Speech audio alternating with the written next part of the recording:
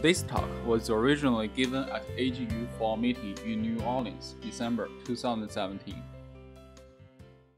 Hello, I'm Eric Zelong Zhang, a graduate student in geochemistry from Louisiana State University. Today's talk is about the story of how iodine release from apatite in aqueous solutions. First, I would like to thank my colleagues from Louisiana State University and Rensselaer Polytechnic Institute. This research is supported as part of WastePD, an Energy Frontier Research Center funded by the U.S. Department of Energy.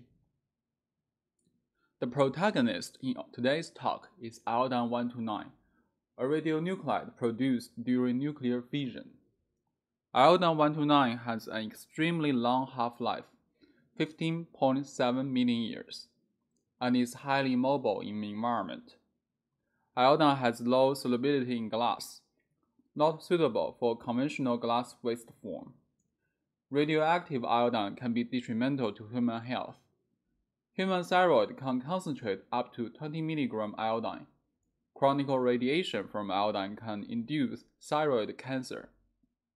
Therefore, iodine-129 is one of the most challenging nuclides to the disposal safety of nuclear waste. We need to have a concrete plan to ensure the long-term disposal safety of iodine-129.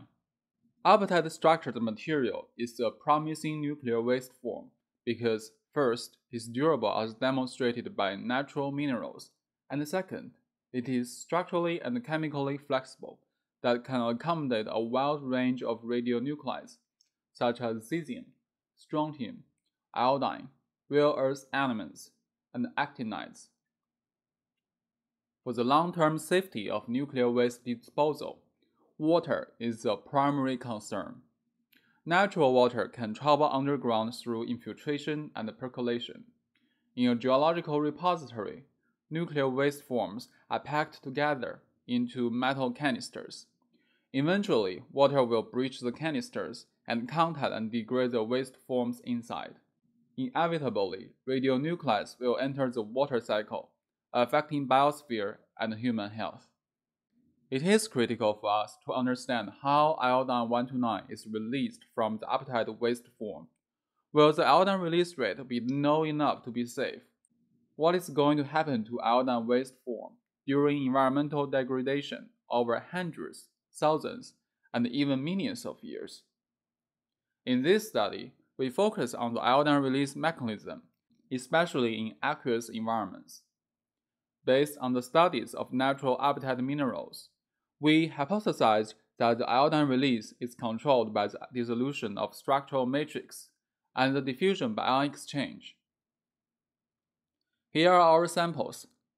Lead vanadinide iodoapatite, synthesized by our collaborators from RPI. We used a standard semi-dynamic leaching test to these samples. For a typical experiment, a sample pellet was placed on a match stand in a Teflon vessel under constant temperature, 90 Celsius. The leaching solution was replaced every 24 hours. We tested samples in different solutions, including deionized water, organic pH buffers, sodium chloride, sodium carbonate, sodium phosphate, and sodium sulfate. The replaced solutions were analyzed by ICP-MS and ICP-AES. The leached surfaces were examined by SEM with EDS, XRD, infrared, and Raman spectroscopy. By characterizing the leaching behavior through the solution and surface analysis, we were able to understand the mechanism that controls iodine release from apatite. Our results show that in deionized water, iodine release is controlled by short-term diffusion and long-term dissolution. The short-term diffusion gave a high initial release of iodine. The iodine rate then gradually decreased, reaching a flat line, indicating a congruent dissolution was taking control with constant rate. In addition, infrared spectroscopy detected hydroxyl group on the leached surface, suggesting ion exchange between OH group and iodide. XRD shows single phase on the water-leached sample surface, which is identical to the unleached pristine sample. When we add ions in deionized water, such as 0.1 mole per liter sodium chloride, we found diffusion was significantly enhanced due to the rapid ion exchange between chloride and iodide. The iodine rates were continuously increasing nearly one magnitude higher than the water leaching under same conditions.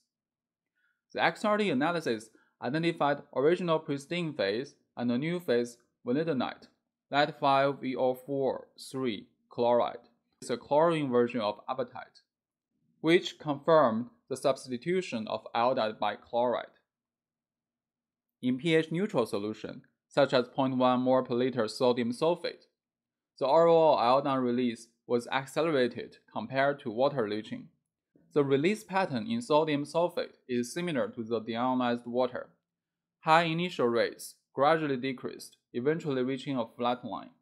Congruent release of lead and vanadium, plus identical XRD patterns as the water leached sample indicates similar mechanism, short-term diffusion and long-term dissolution processes.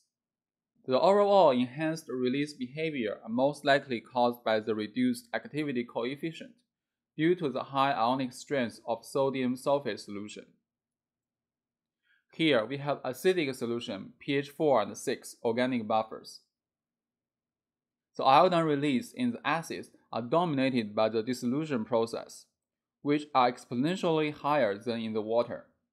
However, the iodine rate patterns are different between pH 4 and pH 6.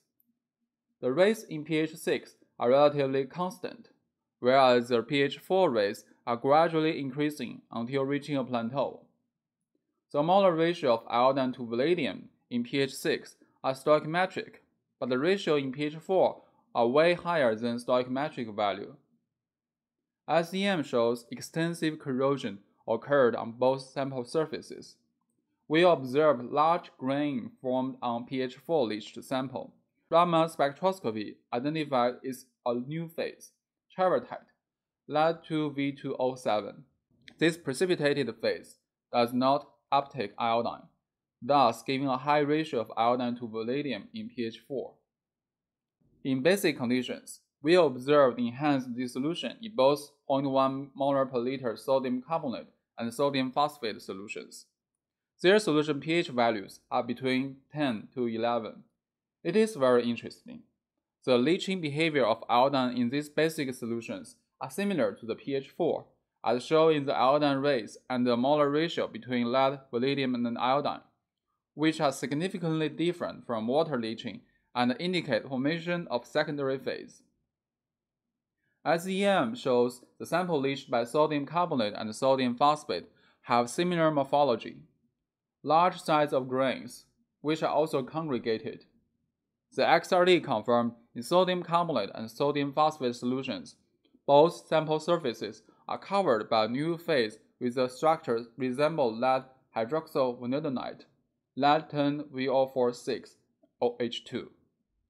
In conclusion, iodine release in aqueous environment is contributed by congruent dissolution of material matrix and diffusion by ion exchange. The release processes are susceptible to the solution chemistry, such as pH, ionic species, and ionic strength.